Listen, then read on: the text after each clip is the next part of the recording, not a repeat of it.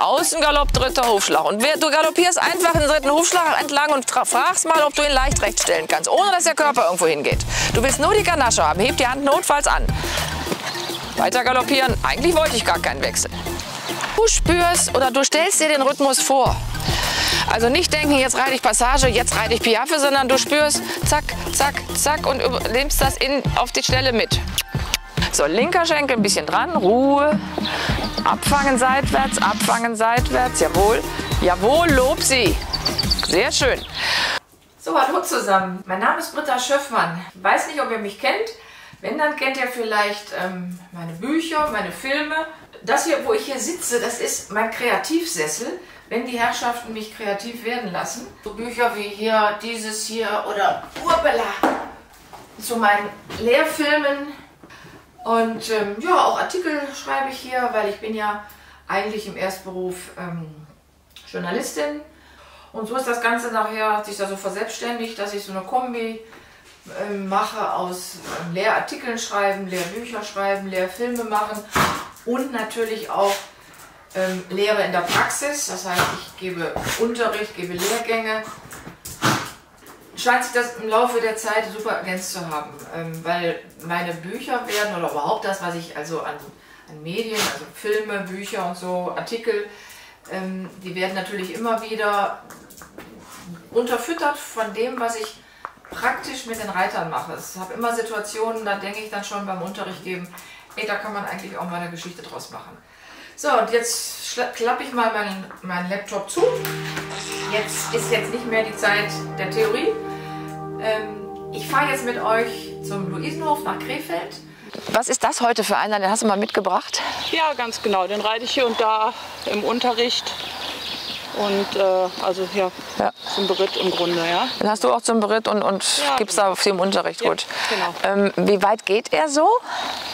Also er macht M-Lektionen, fliegende Wechsel zur einen Seite gut, zur anderen Seite nicht so gut. Also, aber ja. ja. Reit ruhig ein paar Runden mal, lass ich mal traben, dass ich mir mal ein Bild machen kann, dass der Hals etwas offener wird. So. So, und ein bisschen ruhigeres Tempo. Auch hier gar nicht so Gas geben. So, und jetzt, jetzt gehst du wieder ins Aussitzen und guckst, ob er mitspielt. Jawohl. So. Gut. Galoppierst ihn mal an. Streckst deinen Sitz. Locker flockig. Linke Hand wieder. So. Willst du mir einmal, die, die, wo du sagtest, ähm, der macht den einen Wechsel ganz gut, den anderen manchmal nicht so, willst du einmal mir die Wechsel zeigen, dass ich dir vielleicht so ein paar Tipps mitgeben kann, wie ihr weiter daran arbeiten könnt? Nimm erst den, der, der besser ist. So, nicht so, die linke Hand, die linke Hand aufpassen, vortreiben, die Nase wird zu eng. Ja, der war okay, der war sauber, ein bisschen flach, aber sonst ganz gut. Bisschen vortreiben. So ist gut. So, einmal, nee, nee, nee, ich will gar nicht nochmal versuchen. Parier einmal durch zum Schritt. Beim ersten Wechsel, der war sauber und gut, ähm, aber der, was mir aufgefallen ist, der galoppierte, ohne dass er eine halbe Parade kam und wechselte. Dadurch war der Wechsel was flach. Auf der Hand, wo es schwieriger ist, ist das Fehlen der halben Parade vor dem Wechsel für ihn ein Problem. Kommst du noch einmal dahin und versuchst mal dahin zu galoppieren, als würdest du sagen, als würdest du einen Steilsprung vor dir sehen.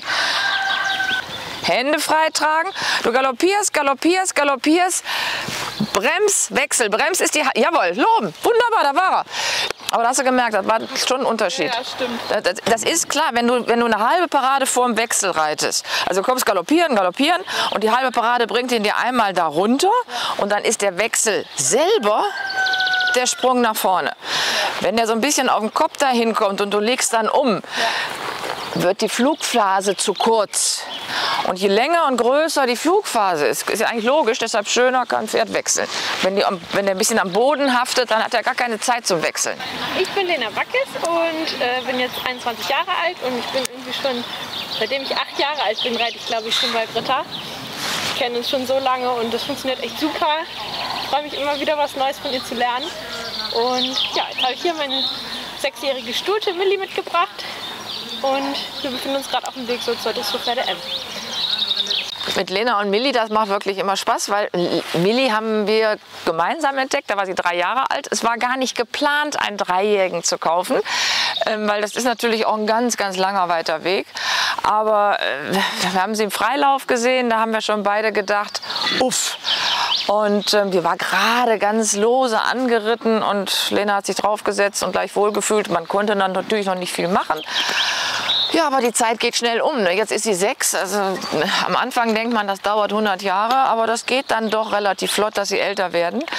Und das sehe ich natürlich an Lena. Als Lena mit mir angefangen hat zu arbeiten, hat sie Reiterwettbewerb geritten, war etwa so groß und hatte Zöpfchen. So, jetzt leg mal los. Du hast ja eben im Hintergrund schon ein bisschen gelöst. So, da sieht man, wie viel sie von hinten auch schieben kann. Ähm, in dem Alter ist es natürlich wirklich, was heißt in dem Alter, ist es immer wichtig, dass ein Pferd eine gute, korrekte Grundausbildung hat. Man muss immer wieder, wenn man merkt, irgendwas stimmt nicht, zurück zur Basis gehen. Das ist manchmal so was blöde, langweiliges, wie gerade eben die Übergänge, Trab, Galopp, Trab, Galopp, immer mal wieder aus der Hand kauen lassen, damit man immer wieder die Rückmeldung vom Pferd kriegt. Und sie ist jetzt auf dem Weg zur Dressurpferde-M. Wir fangen jetzt an, sie mehr von hinten zu schließen. Sie muss aus diesem, dieser großen Schubkraft, die sie eigentlich hat, jetzt immer mehr Tragkraft entwickeln. In einem Jahr wird sie hoffentlich einen runderen Hintern kriegen, was wir als Frauen eigentlich gar nicht so wollen. So einen Hintern, den wollen wir beim Pferd haben. Also, dass sie richtig einen runden Poppes kriegt. So.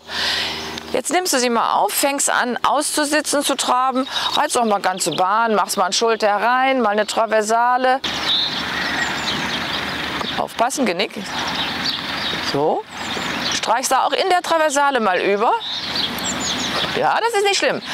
Ich lasse das die Reiter gerne mal machen, auch in den Traversalen, in den Seitengängen wirklich mal beide Hände wegzumachen, wegzugeben. Meistens macht man das ja mit dem inneren Zügel, um zu schauen, ob das Pferd an den äußeren Hilfen ist. Mit dem Überstreichen, ich möchte auch den Reitern immer wieder zeigen und beibringen, dass ganz viel, wenn das gut funktioniert, über die reine Sitzhilfe geht. Also Schenkelhilfe, Gewichtshilfe, das richtige Drehen des Körpers. So, linker Schenkel ein bisschen dran, Ruhe, Abfangen seitwärts, abfangen seitwärts, jawohl. Jawohl, lob sie. Sehr schön. Und es gibt Pferde, die springen ganz natürlich um. Man wechselt Diagonale, so ein bisschen schönes, lockeres Tempo. Manche Pferde sagen, kein Problem, springen um. Kann man sich freuen. Sind natürlich die wenigsten. Die anderen Pferde fangen dann an, in der Versammlungsarbeit die Kraft zu kriegen, umzuspringen gibt es natürlich auch immer viele Probleme. Die einen springen gar nicht um, die nächsten springen Kreuzgalopp, die nächsten machen eine Verzögerung hinten. Pferde wie ähm, Milli, die so ein bisschen elektrisch sind, können auch schon mal sagen und Tschüss und Gas geben. Auch hier, ein Pferd soll ja nie Angst vor einer neuen Lektion kriegen. Ähm, Lena hat jetzt so ein bisschen rausgefummelt, rausgefusselt, gemerkt, dass es ganz gut ist, wenn sie mit der Stute aus einer Galopptraversale kommt. Warum Galopptraversale? Wie gesagt, in der Galopptraversale versammelt sich das Pferd etwas besser. Sie sitzt etwas besser. Sie hat eine Längsbiegung drin, was wiederum auch ein bisschen das Pferd daran hindert, einfach nach vorne wegzulaufen. Sie sitzt auf dem Hinterbein, sie hat ein bisschen mehr Zeit vorzubereiten. Wir gucken mal, ob das heute funktioniert. Letzte Tage hat super funktioniert. Kann natürlich auch anfangs immer noch schief gehen, was aber auch egal wäre. So, so, Ganache. So, ist gut. Jawohl. Galoppieren, galoppieren, galoppieren, galoppieren. Richtig. Wenn Lena da jetzt gewechselt hätte, wäre der kaputt gegangen. Das hat sie gespürt. Die Stute drückte weg, Hinterhand ein bisschen. Gut. Hand etwas tiefer führen und wieder treiben, wieder treiben. So. Wieder, immer wieder treiben. Auch ein Pferd, was elektrisch ist. Treiben heißt ja, ich habe Einfluss aufs Hinterbein. Und wenn die vorne so lose wird, dann ist das immer ein Zeichen, dass das Hinterbein gerade nicht genug ist. Der wird wieder zu eng. Aufpassen. So. Mehr galoppieren. Loben, loben, loben, Zügel lang, Zügel lang, loben, Zügel lang, durchparieren. Also erst durchparieren, dann Zügel lang, ne? So, durchparieren, durchparieren, Zügel lang klopfen. So, Das hätte auch anders sein können. Der war jetzt da, der war, der war, war sauber, der war spannig, gar keine Frage. Aber sie ließ sich reiten. Und man muss immer gucken, dass man die Pferde bei Laune hält. Und dass man jetzt nicht, jetzt könnte man sagen, oh super, der hat geklappt, jetzt reite ich noch zehn. Oder nein, zufrieden sein, lang lassen, durchpusten lassen. Das Pferd muss das Gefühl haben, ich habe gerade was richtig gemacht. Das ist ganz wichtig. Die Britta Becker, die kommt gleich. Ähm, wer immer treuer Equitana-Besucher ist, der weiß auch, wer Britta Becker ist. Britta Becker ist die Besitzerin von Fio, Fioretto Festival. Der ist also auch schon oft auf der Equitana gewesen. Die Lena reitet den seit nunmehr vier? Nee, sechs Jahre. Sechs, mein Gott, die Zeit vergeht. Und die Britta Becker bringt gleich noch mit ähm, den Sir Q. Das ist auch so ein heißes Gerät. Ähm, und das sind beiden Pferde, die Lena auch reiten kann. Und dann hat sie gesagt, komm, dann nutzen wir hier heute diese, diesen Termin, um hier schön auf dem Außenviereck ähm, mal zu trainieren, weil die Pferde stehen weiter weg. Wir können also nur ab und an mal gemeinsam was machen, aber das macht Lena in der Zwischenzeit super, auch schon alleine. Wie gesagt, nach all den vielen Jahren weiß sie auch, was ich sagen würde, wenn ich da stehen würde.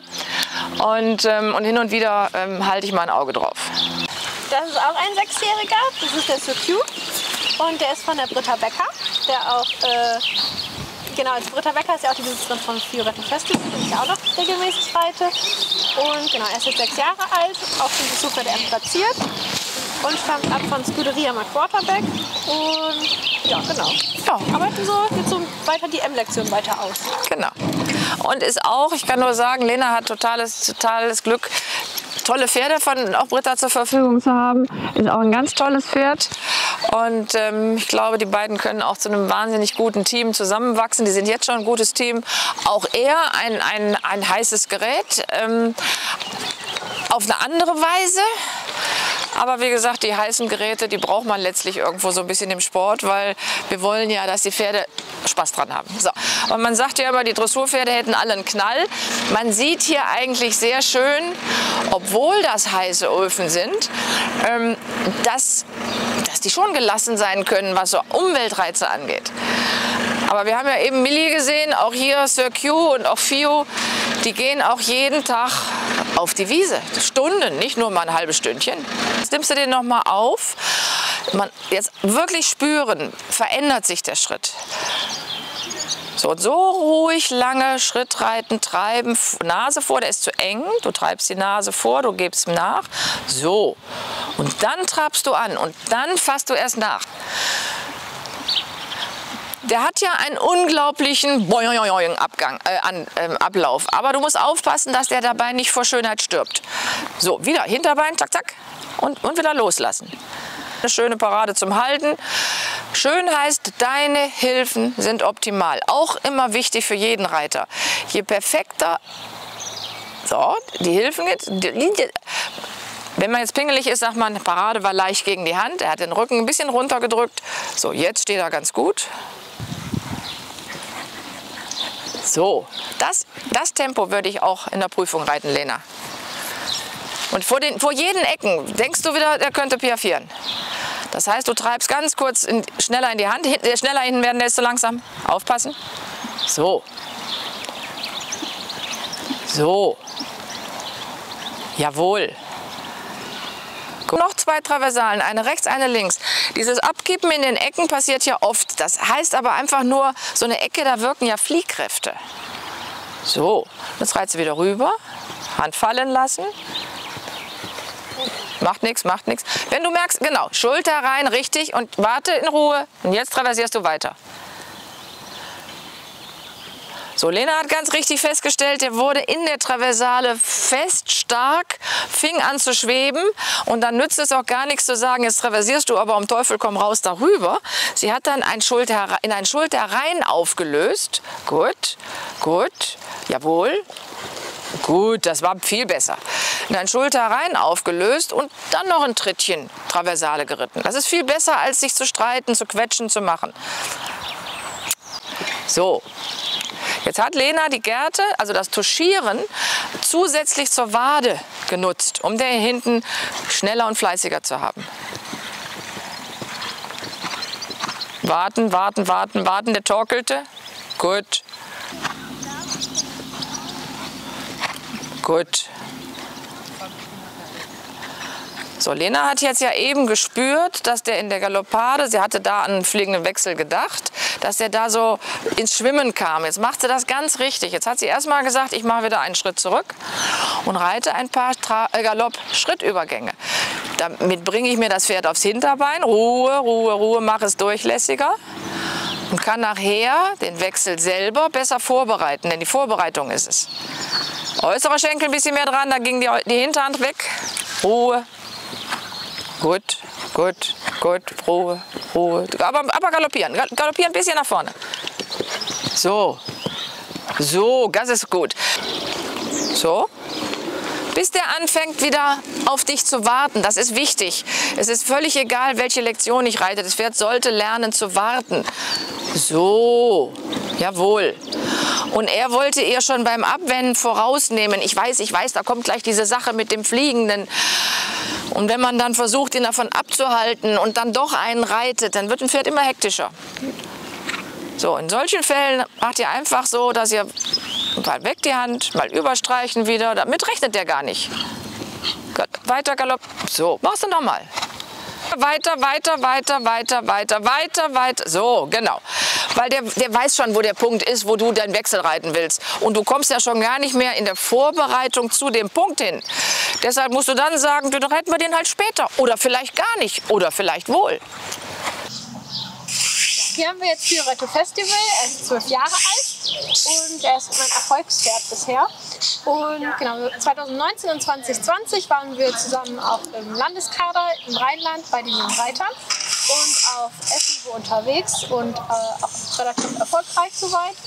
Und jetzt gerade befinden wir uns auf dem Weg in, zur S3 Sterne und erarbeiten da so ein bisschen die neuen Lektionen so Piaf Passage und die neuen Einerwechsel, die noch hinzukommen, ganze Pirouetten.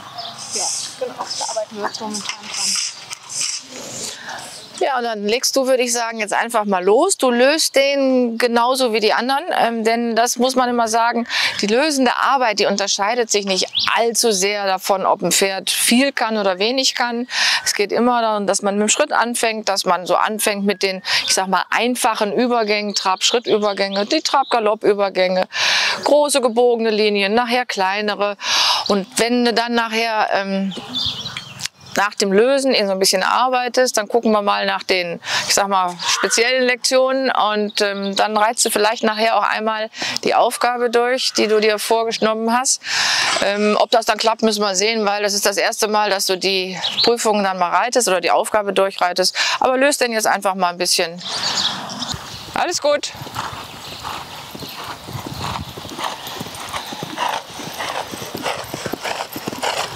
Loben, loben, loben. Gut. Super. Dann kommst du an der kurzen Seite mal ins Piafieren. So. Ah. Reiz noch mal raus. Der Übergang war nicht schön. Der aber auch nichts. Lass dir Zeit, lass dir Zeit, lass dir Zeit. Du spürst oder du stellst dir den Rhythmus vor. Also nicht denken, jetzt reite ich Passage, jetzt reite ich Piaffe, sondern du spürst, zack, zack, zack und nimmst das in, auf die Stelle mit. Gut, gut. Und dann nimmst du es wieder ins Vorwärts mit, diesen Rhythmus. Weiter, weiter. Alles gut, alles gut, alles gut, alles gut. So, lob ihn.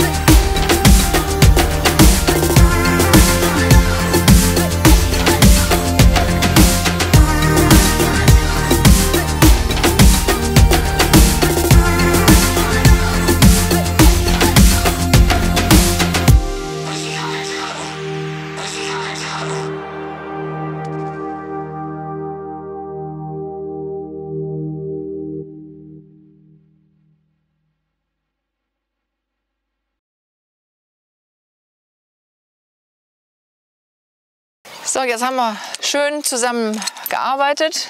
Lena heute das äh, gleich mal beim Schopf gegriffen und alle Pferde, hm, das heißt alle, sie hat ja noch zwei tolle Ponys zu reiten, aber die dreimal gearbeitet.